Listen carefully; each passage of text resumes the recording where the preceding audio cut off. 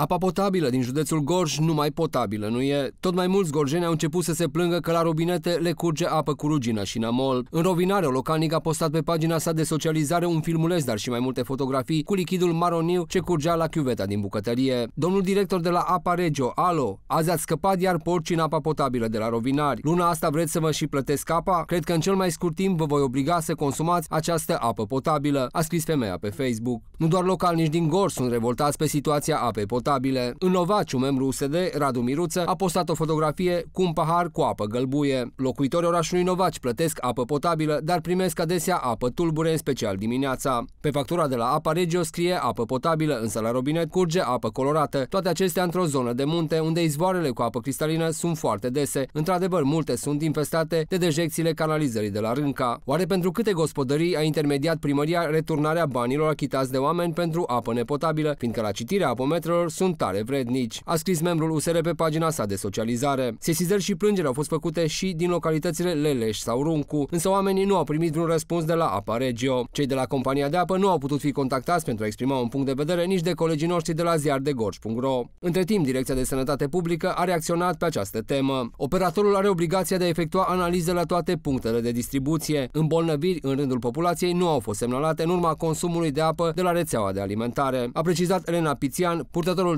de cuvânt al Direcției de Sănătate Publică Gorj. Oamenii se întreabă totuși de unde sunt prelevate șantioanele de apă supuse analizelor de laborator, mai ales că acestea sunt trimise la DSP chiar de către firma acuzată de localnici că le trimite la robinete apă tulbure.